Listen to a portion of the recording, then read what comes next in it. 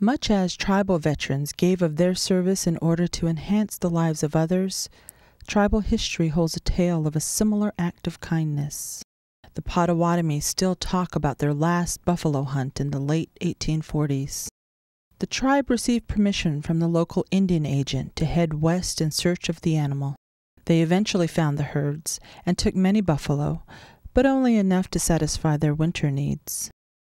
On the return trip, in what is now Graham County, they came across a crude settlement of black people known as Nicodemus. They were like uh, city folks moving out there, and they, they couldn't. They were uh, they were they weren't surviving. They were dying off. And what the tribal people did on that hunt, they gave them some of their buffalo. There is no denying some of the more painful parts of the Prairie Band Potawatomi history, but the leadership of a progressive government and the extraordinary economic growth of the Prairie Band Casino and Resort has provided tribal members with a comfortable quality of life and hopes for the future without losing important connections to the past. One thing that always keeps all of us, there are eight bands of Potawatomi, and we all symbolically call ourselves Keepers of the Fire.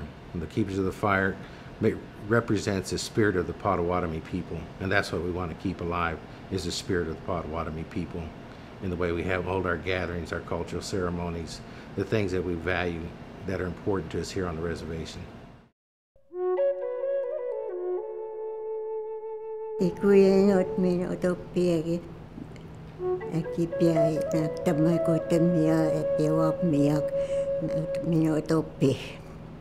Manu net man mena eta one europees ke wat kota kota